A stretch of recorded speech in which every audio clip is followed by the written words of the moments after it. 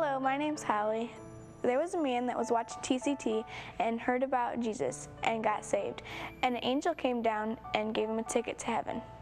He was so excited that he got his ticket to heaven. He went to his friend's house and he said, Look what I got. And he says, Wow, you got a ticket to heaven. Do you think I could have some? And he's like, Sure. Cuts him off a piece and he says, Well, I've done some really bad things in life. I don't think that much is going to get me through heaven. And he's like, Yeah, okay. And so they die a couple years later, and they get to heaven, and th- the guy hands him his ticket. And the angel opens it up and says, Welcome to heaven. And the other guy goes up, lays it out for him, and the angel says, I'm sorry. You can't get to heaven on somebody else's ticket.